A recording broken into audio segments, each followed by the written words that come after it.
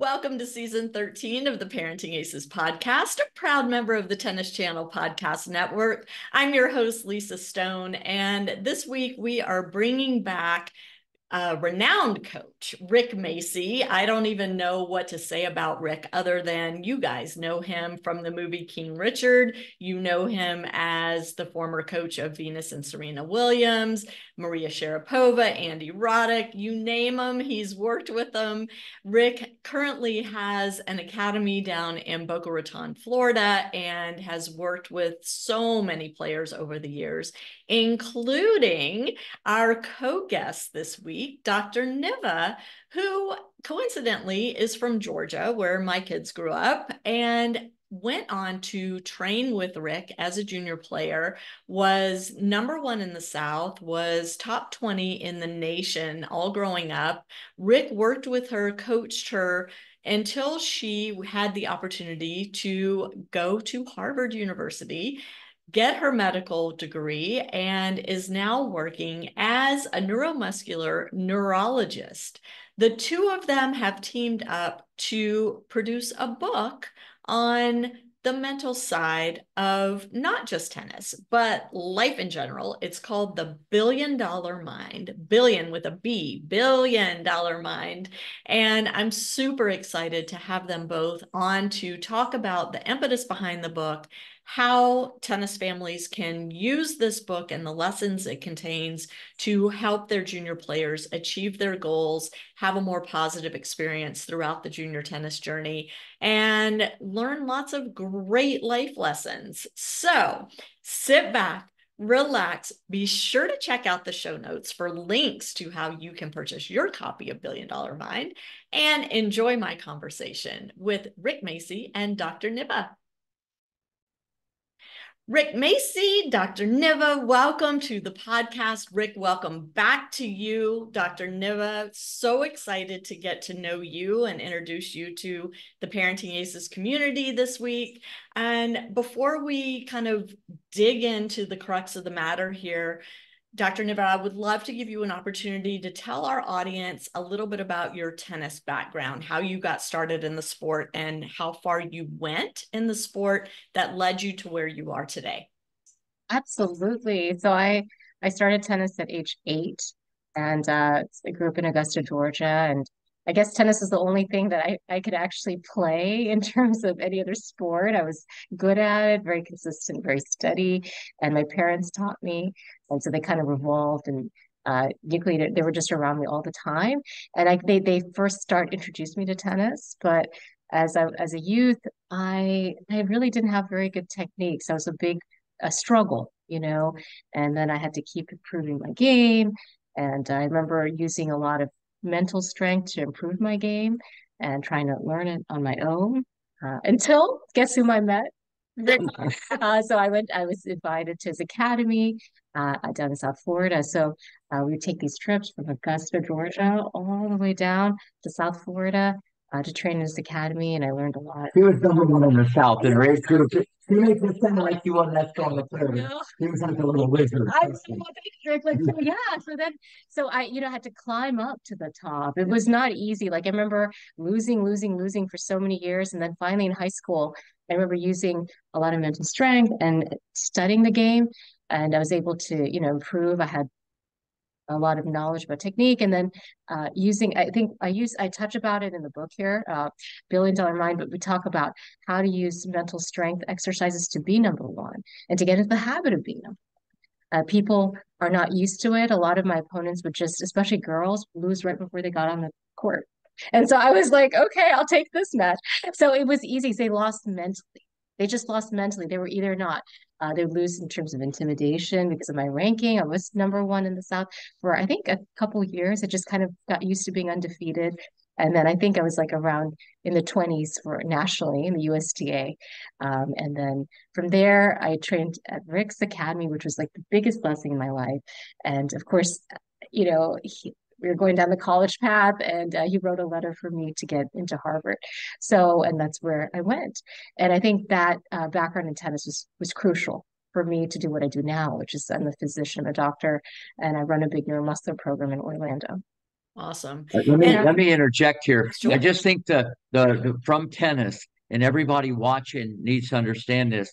You know, whatever wherever you end up, high school player, you know, college player, you fortunate enough to make it in the pros. The things you learn from tennis through the hard work and discipline and problem solving and doing things on your own. Uh, obviously, uh, you know, for her and her twin sister has, you know, just taken them to such extraordinary heights as her being a doctor and one of the best in the world at what she does. Oh, Rick, that's so kind. But yeah, I agree with you. Like the, the hard work ethic is crucial.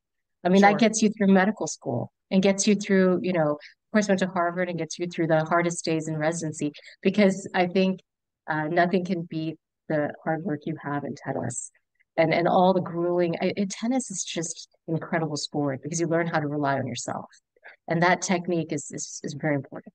Yeah, I love that. And we talk about that a lot on Parenting Aces and, you know, on our social media and our, our consults is the fact that tennis offers the opportunity to learn lessons that apply both on the court and off the court. Um, I love that about this sport. And it's it's interesting. I recently spent a couple days at my niece's soccer tournament. She plays on her high school team. And just noticing how different it is to be in a team sport environment because my my experience as a sports parent has solely been with tennis and it was it's a very different environment uh, when you're looking at team sports equally opportunistic in terms of life lessons and skills and all of those things but just a little bit different when you're talking about an individual sport versus a team sport which really helps us kind of segue into this new book of yours. And the two of you have teamed up to produce Billion Dollar Mind. It's now available. We will have links in the show notes on parentingaces.com. So I want everybody to make sure that they check that out. But you decided not only to write a book, but also to then come back and write a kid's version of the same book. Can Rick, maybe you can talk about this. Why did you decide to offer a double version of this publication? Well, I think, well, even younger kids can, you know, get so much out of Billion Dollar Mind. Now, all the kids at the academy, you know, a lot of them have already read it, but there's a kids version that's just scaled down. Um, what would you say, like more? It's just And- yeah, it's simpler. It, It's it- just a little maybe simpler, yeah, you know, so much. but at the end of the day, they both have the, the same value, the same gold nuggets that can, you know, just whatever you do, you're going to do 25% better after reading a book. So we figured we do it for the kids also.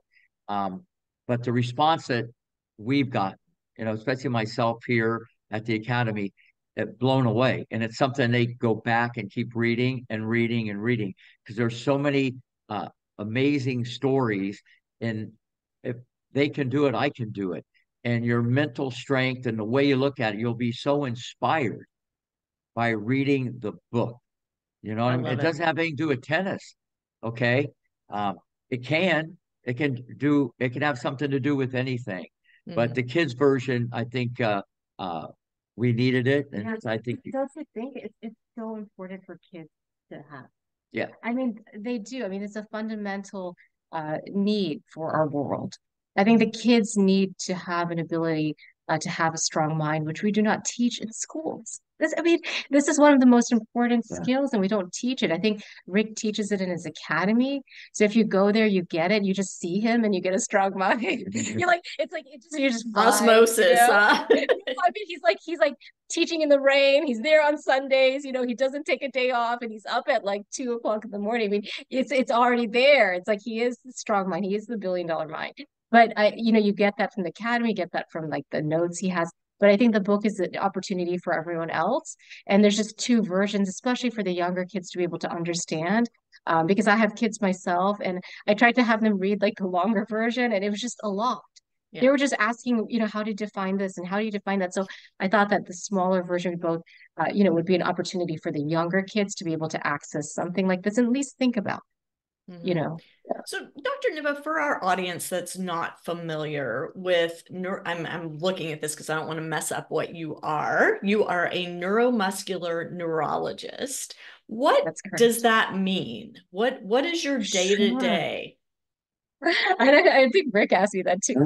Same question. Okay. And so this is this is a great question. So basically, a neuromuscular neurologist deals with patients who are weak or have uh, numbness and pain. So they have problems with their muscle or nerve.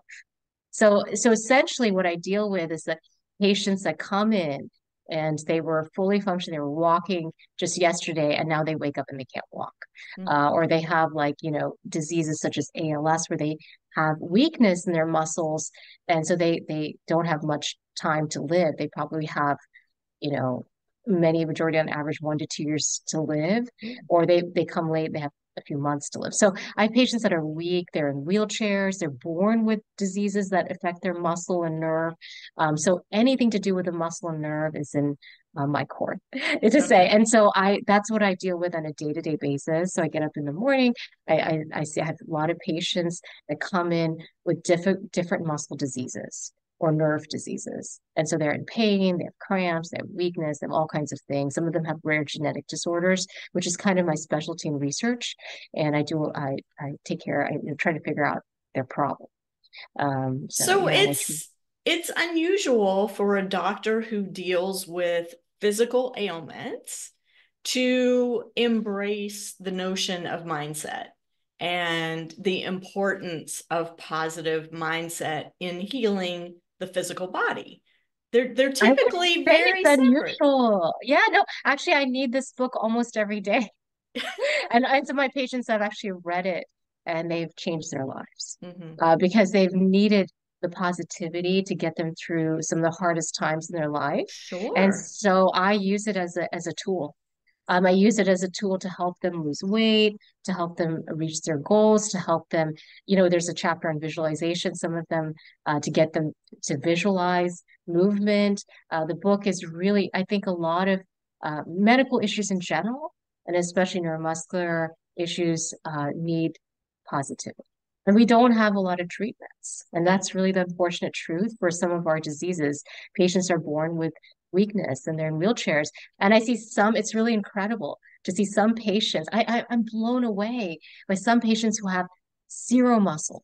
They have no, they can they just talk and they, they have they they have a husband or they're married and they some of them even have kids. It's like, wow. And then, then I have people who are fully functioning and they don't have any of that. Mm. And it's interesting, it's all about the mind. And so I, every day I have to remind people, I mean, this book is incredible. Um, and I think it's a it's a good tool. So it, it kind of my patients almost encouraged me to write this in some ways. And of course, Rick, I, I wanted to do it for a long time, but it's right up. Even though it's not entirely psychiatry, it's really right up the alley uh, for mm-hmm. what I do. That's a great question because yeah. it's more than the, the the medical part. She does so much with the the mind. It's incredible. Yeah, absolutely. Yeah, absolutely. Yeah, and patients are really they're just paralyzed by their thoughts. Yeah. Sure. So. I mean, as and and I'm gonna just segue this back to junior tennis because that's what we're about here at Parenting Aces. And one of the big topics of conversation that comes up over and over and over and, and understand we are now in year 13 of doing this. So this is a topic that I have addressed multiple times over the years is the topic of cheating, bad line calling, um, you know, manipulating scoring unfairly. All of these things are part and parcel, sadly, of not just junior tennis, but college tennis adult tennis, um, professional tennis at the entry levels where they don't have chairs on every court. So I would love to kind of talk about Billion Dollar Mind in the framework of how junior players can use the techniques in your book to manage their response when things aren't going the way they want them to go on the court in terms of their opponent in terms of their own play all of those those factors. So rick i'm going to start with you because i i know mindset is is very important to the type of teaching you do when you work with players. And i'm going to separate teaching from coaching. Um, and this is something I recently learned the difference. And and so I know that teaching is an integral part of what you do Rick to help these players reach their potential. So when you are teaching a young player and they come back to you and say I played this tournament this kid was hooking me right and left making horrible calls I just you know dissolved um, as a result of that what do I do to to help myself handle this next time?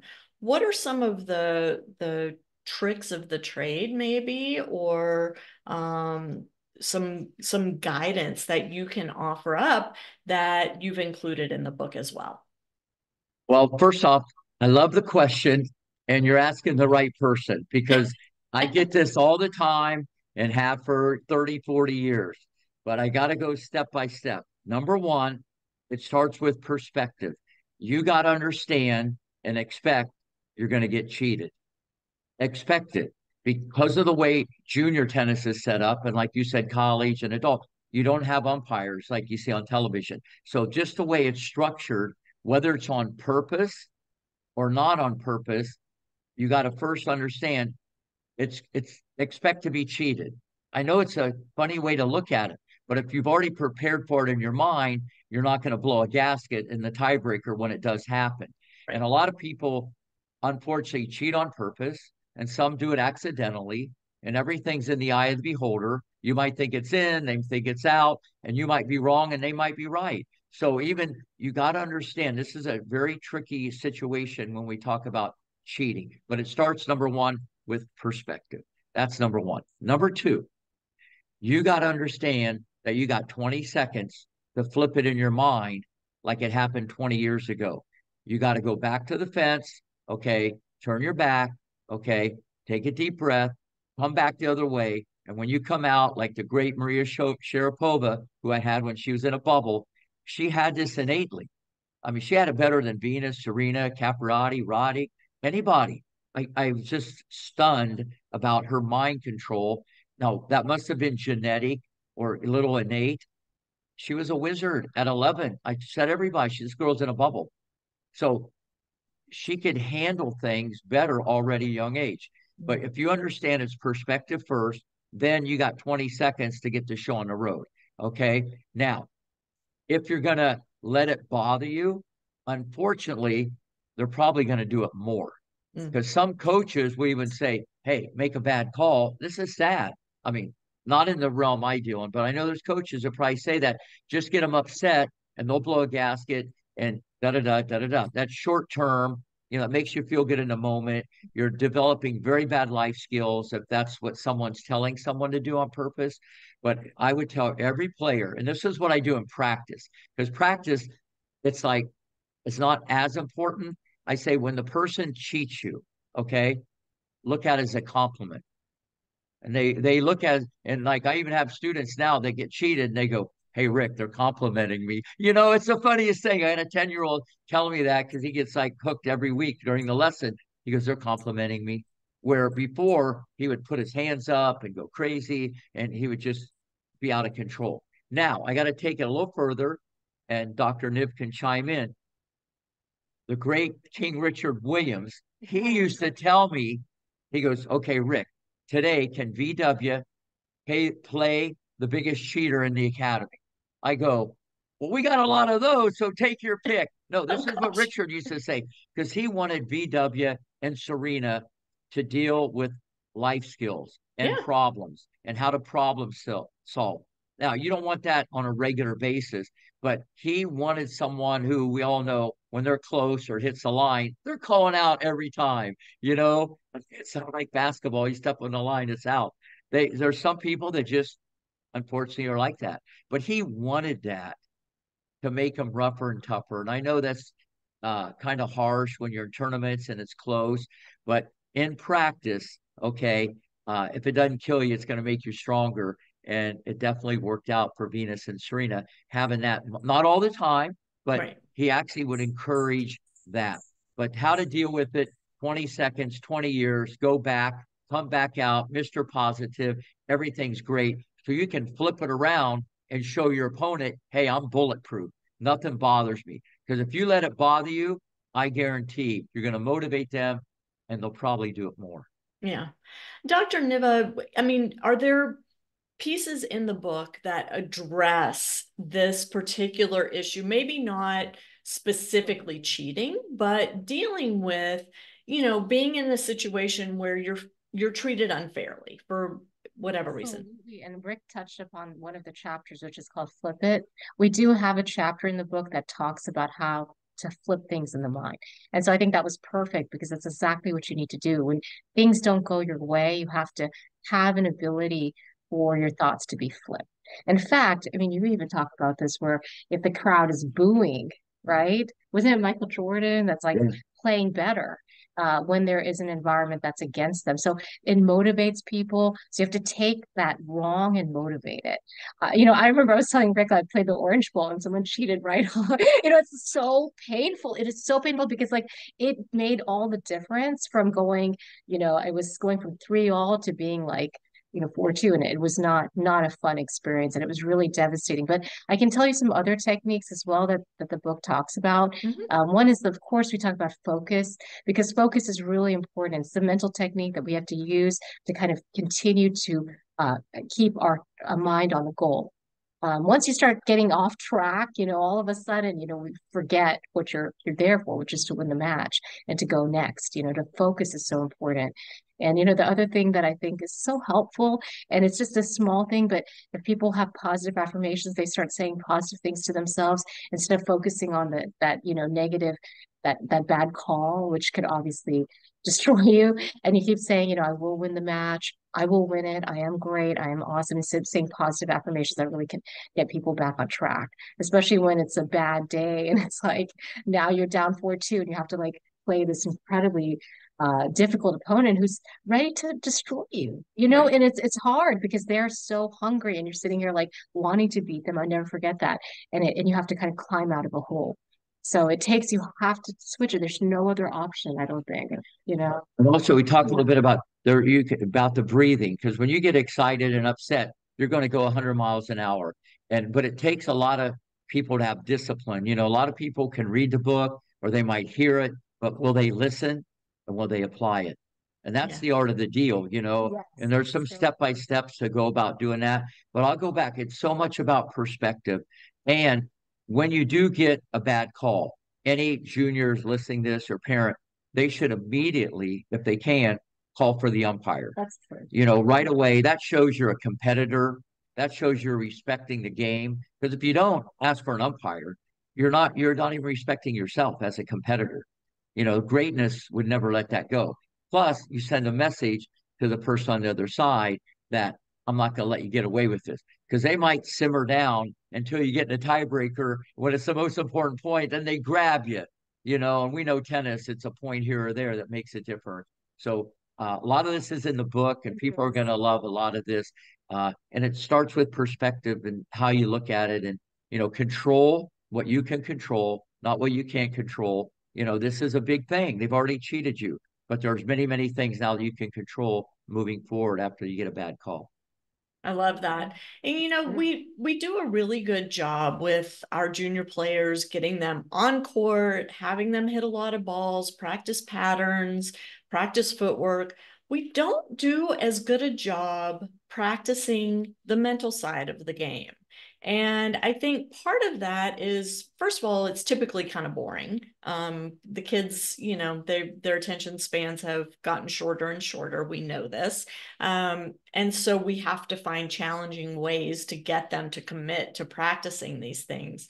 What are some of the things, Dr. Niva, that you have discovered or created to really kind of incentivize the younger kids to commit to practicing these mental skills? It's a beautiful question. So I, I, there's a couple of uh, things that I can think of. Number one, it's not boring to win. It's definitely not boring to win. So when people start using these tech, my kids or kids in general start using and they start winning, oh my gosh, and even myself.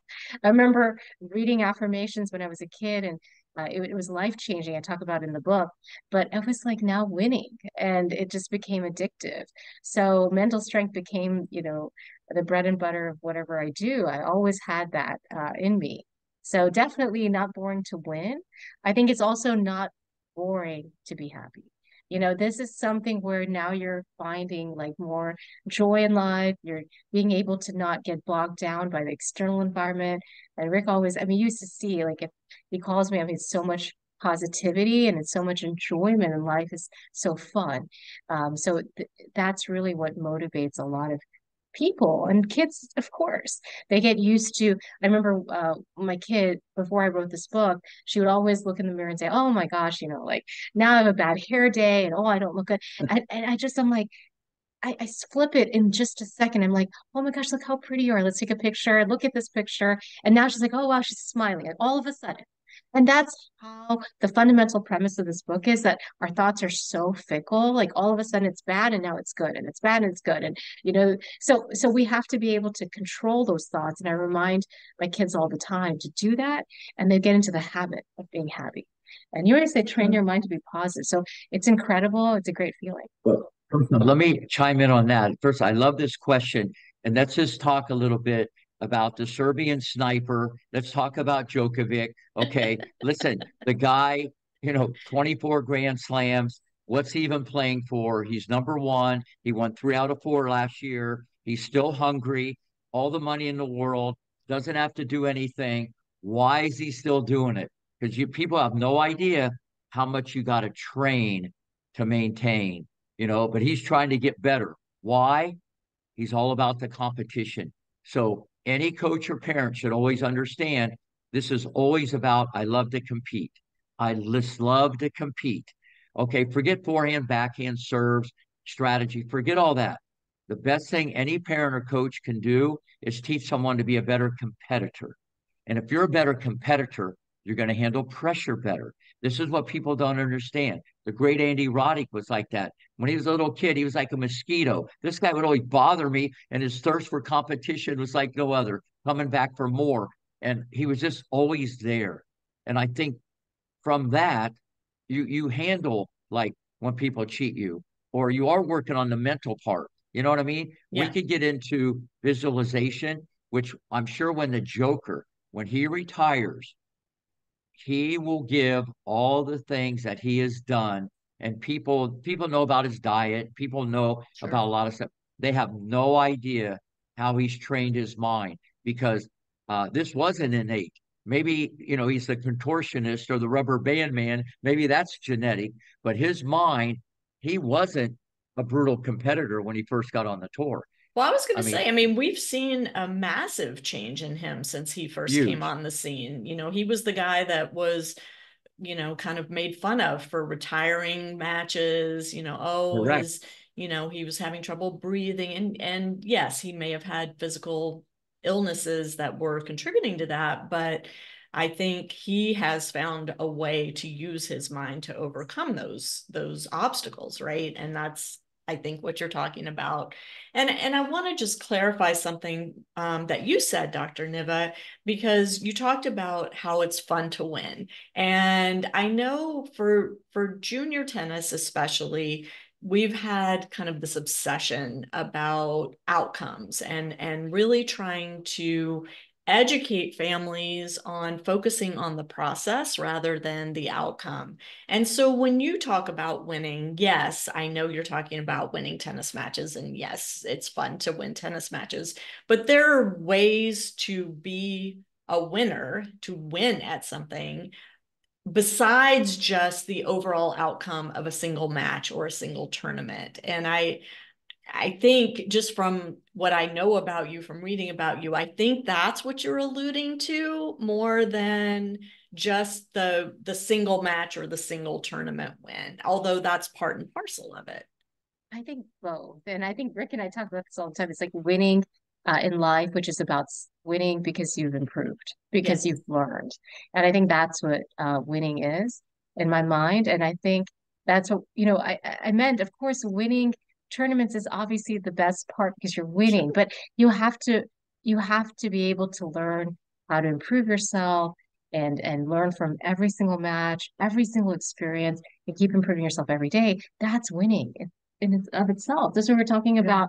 So when when parents say, "Oh, the person lost a match," I mean, they could have won because they learned from it, right? Right. So you're always winning if you can actually have a good attitude and continue to improve yourself from anything you do. So uh, I feel like when I said winning, I really did mean like being number one winning because you are winning, and it's great to have trophies. It takes, but it takes an effort. And I also thought think that winning comes from those experiences when I did lose. I was winning in some way because I was always learning. You know, always reflecting on myself. There was never a day. I remember the matches that I, I still remember the matches that I lost. I'll never forget uh, teaching lessons from those matches. And so I was winning in some way. Yeah. So absolutely. Yeah. yeah. Is that I mean we talk about yeah. this all the time. You know, yeah. let you know, also regarding that, it's it's tricky because it's kind of two questions. It's all about the process. And in practice, you break it down microscopically. That's where you learn, and then you compete. Okay. And everybody asks you after you play the match, uh, they don't ask you how'd you play. They ask you, did you win? Right. Okay. And that's what we are in our society, not just tennis, all sports. It's not where you start, it's where you finish. Okay. Like Venus never won a match in three and a half years. Number one, because she didn't play any. Okay. So that's a whole other podcast, as we talked about before. So you got to understand it's about the process, it's about getting better. You know, if it doesn't kill you, you're getting stronger. I know you need to win once in a while to feel good about yourself. Maybe it depends on each person. And that's where you need a great coach and a great role model, a father figure, and a parent who's going to be more of a psychologist and a motivator, you know, and they're getting so much more out of this than just winning. Then the flip side, some kids are so obsessed about winning, you know, they're they're playing people where they're really not even improving. You know, they, they they even they do that on the tour. They travel to Ethiopia and play a tournament to get points. You know, it's really a lost leader of where you're at with your ability.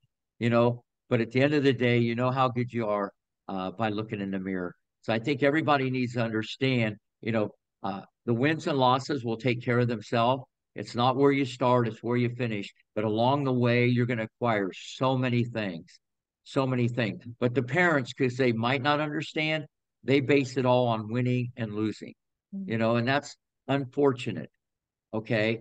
I told someone a story this week. The number one girl who won the Orange Bowl in the 12s long ago played a set against Serena Williams when she was 12. They played a set against each other, same age. And because I taught this girl from Germany, and they played one set. The girl from Germany won 6 0 in 20 minutes. They were the same age. Wow. And Serena was 12.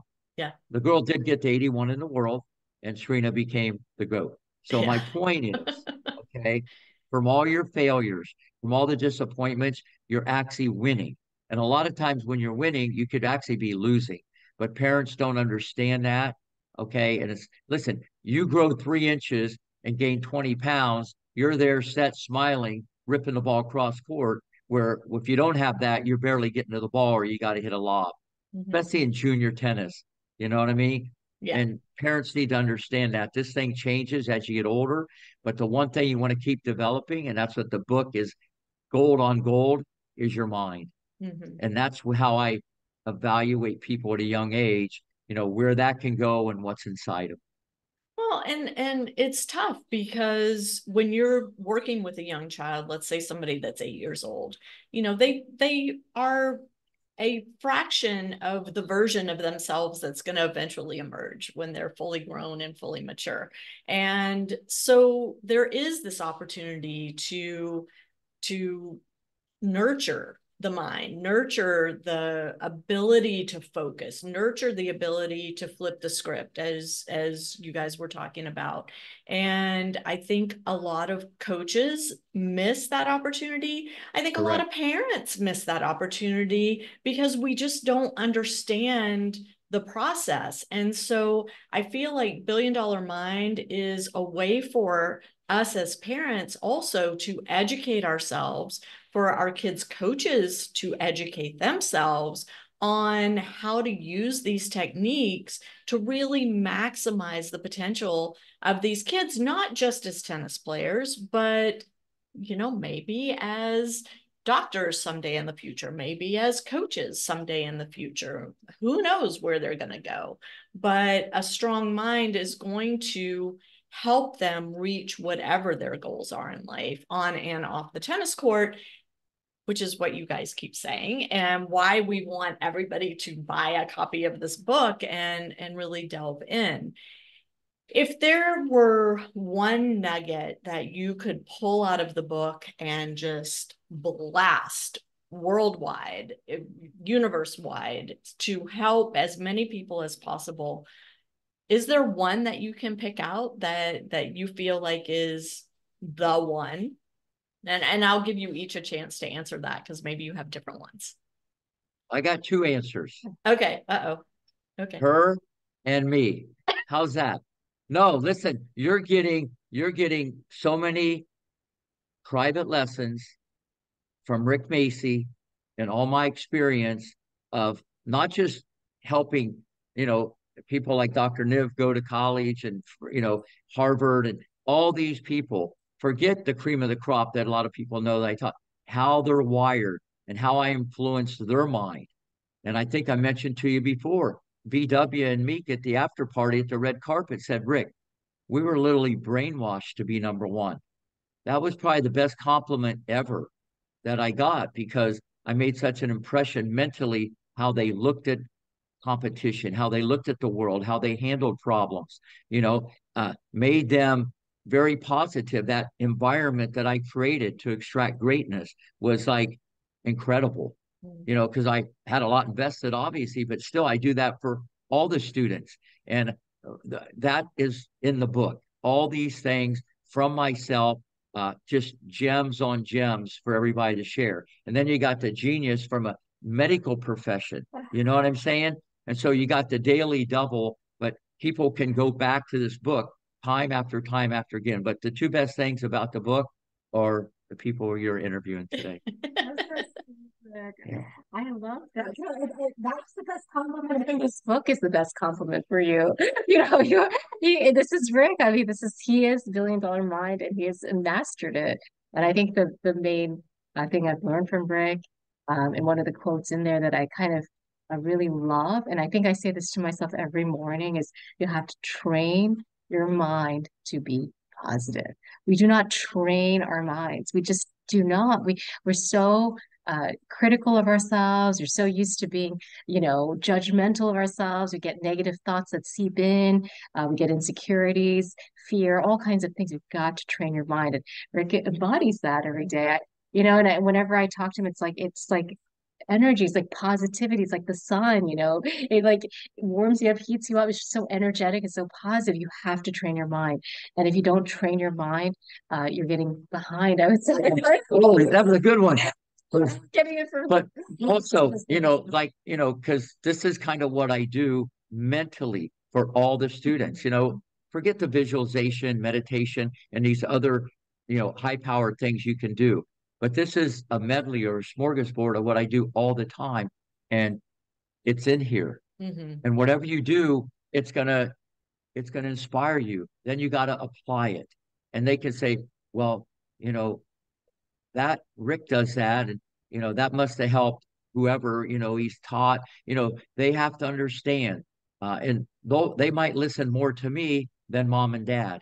Yeah, you know what I mean? Because the mom and dad is trying; they're doing that out of love, but it, it the wires get crossed, and the parents can actually use the Boca as look, look at this, because a lot of people aren't going to come to book and they, they can't maybe afford a lesson or whatever that might be. But mm-hmm. it's so much it's what's in the book mentally, uh, people are just gonna they're gonna be blown away. They're gonna be blown away because they already have. The, my phone's blown off of the people that got it under their Christmas tree.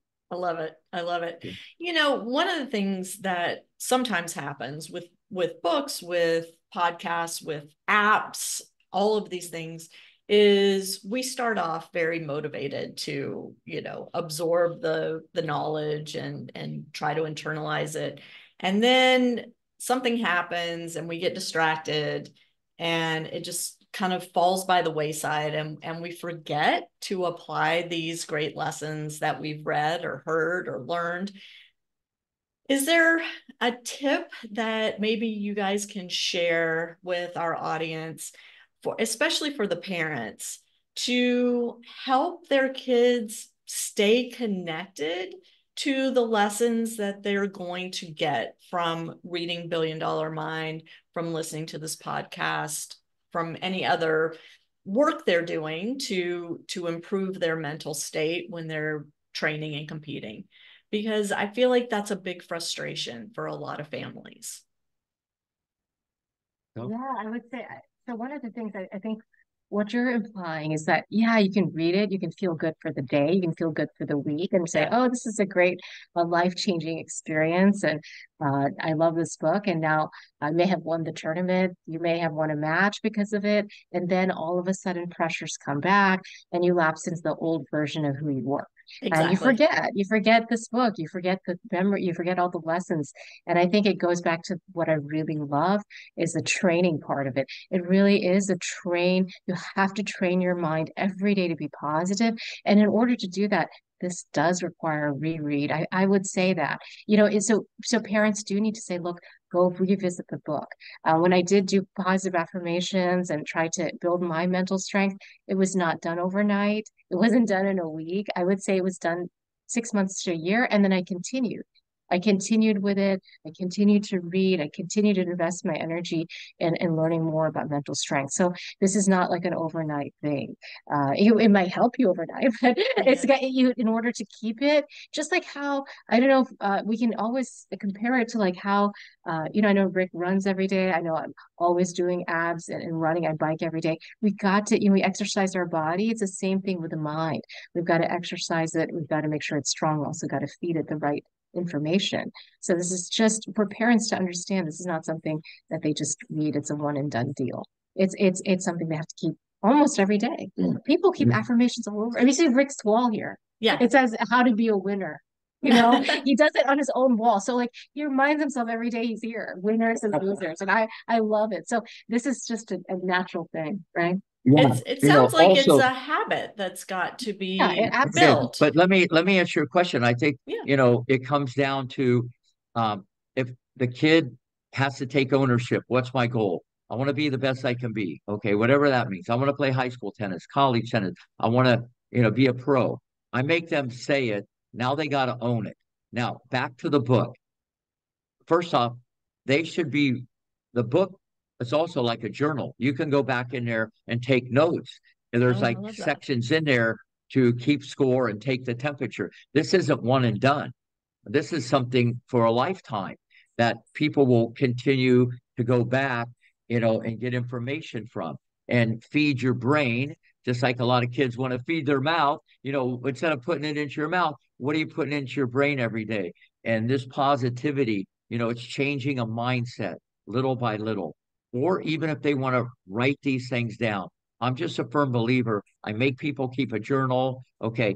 They have to write it down. They look at it every day. There's too many influences with children and kids in the world and adults of what they hear, you know, what they watch on TV around their friends. And there's too many other things that can go into your subconscious or it's right in front of you where you every day want to do this. It's discipline, it's structure, if you don't have that, okay, well, first off, if you have that, it's going to help you whatever you do. Yeah. Forget tennis. It's going to help you in whatever you do right. in life. And this is a big thing now uh, for parents because there's more distractions uh, than when we all grow up. Especially when I grew up, okay, there's a lot more distractions. So that would be write it down, look at it every day, empower yourself. But that takes discipline and that takes ownership. So if you don't want to be the best you can be, or you just want to do, you know, a little bit here, a little bit there, that's okay. Then you mm-hmm. got to own it. That's going to come back to bite you unless you change through your adult life. Well, and I think this is really important what you just said because I again, this is a topic that comes up quite often is having an open line of communication between the parent and the child about what the child's goals are. And those change. We know this, you know, kids at age eight, their goal might be to be number one in the world.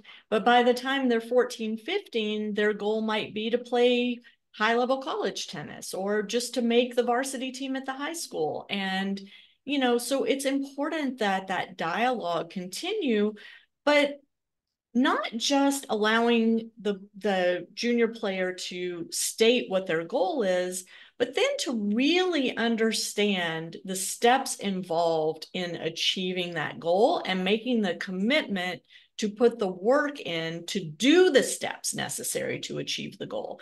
And and that commitment to the work also can change as the kids grow and their mm-hmm. interests expand and their worlds expand. So you know again it's it's part and parcel of developing the whole athlete and the whole human. You don't just work on the forehands and backhands. You don't just work on flexibility. You don't just work on footwork. You also have to incorporate the mental side of it and train that on a regular basis alongside the physical training along with good sleep habits good nutritional habits you know all the things. That's it, it all has to work in in congress to help these kids achieve what they want to achieve.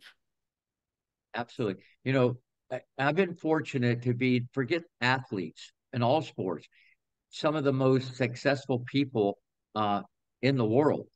And the one common thread they're the most positive creatures that ever walked the face of the earth i don't care what they do I'm just telling you, okay? Mm-hmm. You, the, the wiring is different and just, but it's hard to get into that habit. You just don't wake up and do it on Saturday.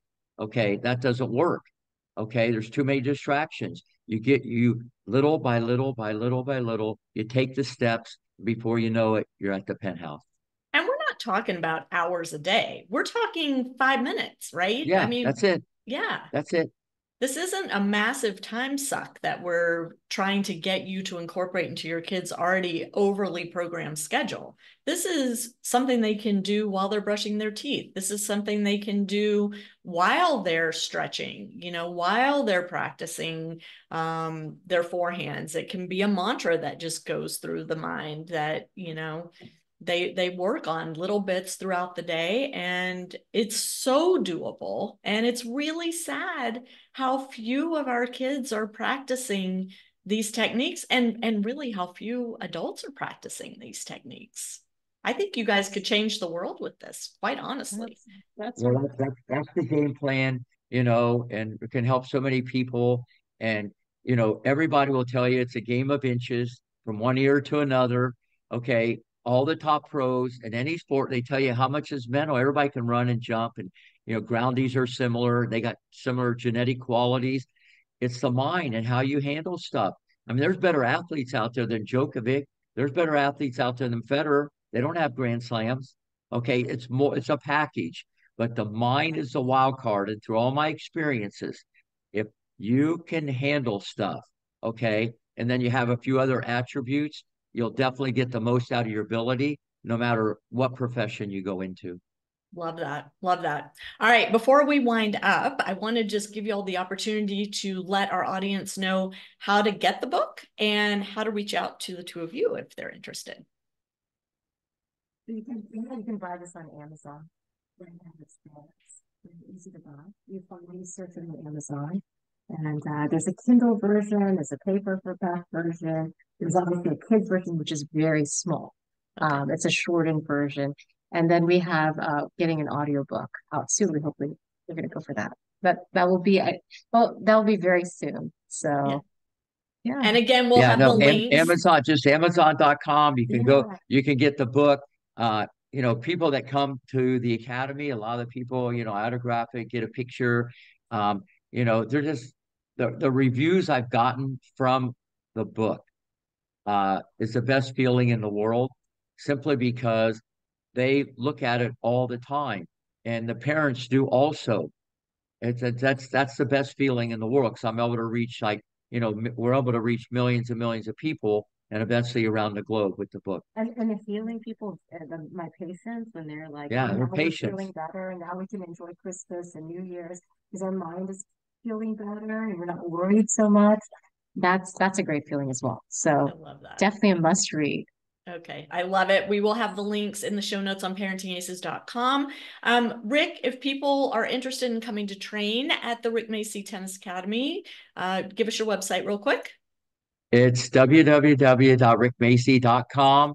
Okay, So easy. info at rickmacci.com. If they email, I answer everyone personally. I have for 40 years. I get back to them, you know, uh, within 24 hours. My phone's even on the website. I talk to a lot of people personally. They go, wait a minute, is this Rick himself? I go, then they know the voice kind of from the movie, I guess. Bernthal did a good job.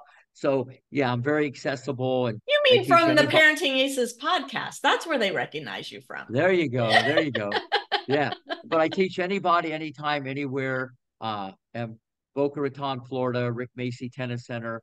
Uh, it's like Disneyland and Candyland, a place like no other. But if they give me a holler through email, text, whatever, I'll get back to them and definitely get a plan.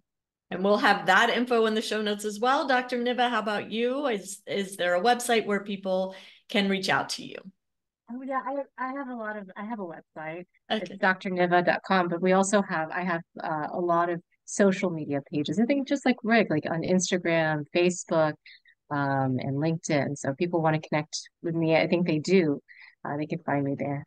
I love it. I love it. Well, thank you both so much for taking time. We're recording this on a Saturday afternoon, so um, and right before New Year's. So I appreciate you guys taking time to be with us. And um, Rick, as as always, I learn lots when we chat. So um, I hope you'll come back next time. You know, there's uh, something to discuss, and there's always something to discuss when we're talking junior tennis. So look forward to meeting up with you both again very soon.